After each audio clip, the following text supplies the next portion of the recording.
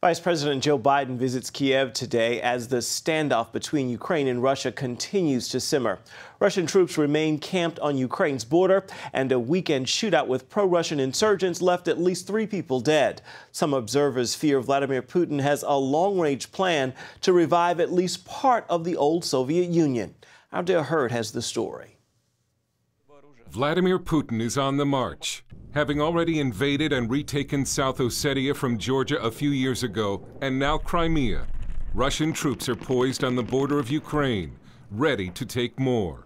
A leading Russian think tank says Russia, for once, is not on the defensive. It is advancing. Ukraine's prime minister is clearly worried. President Putin has a dream to restore the Soviet Union. And every day he goes further and further, and God knows where is the final destination. But Vladimir Putin's military ambitions carry a steep cost for Russia. The country is already getting hammered by a sudden credit crunch and capital flight.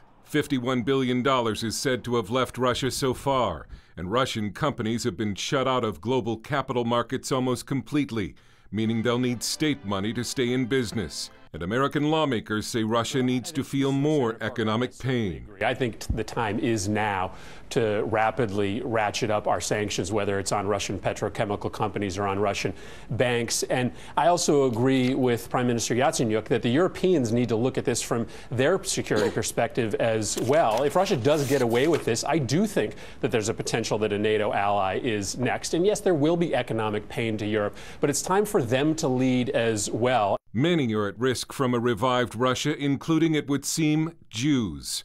Anti Semitic leaflets posted in the city of Donetsk called for the registration of Jews with authorities. It was reminiscent of Nazi era persecution. The Russian supporters said to be behind the leaflets denounced them as fake, but Jews are understandably upset. This rabbi said, I can say that we're very shocked shocked by the fact that someone allowed themselves to print and distribute such leaflets. Vladimir Putin has said the greatest tragedy of the 20th century was the death of the Soviet Union.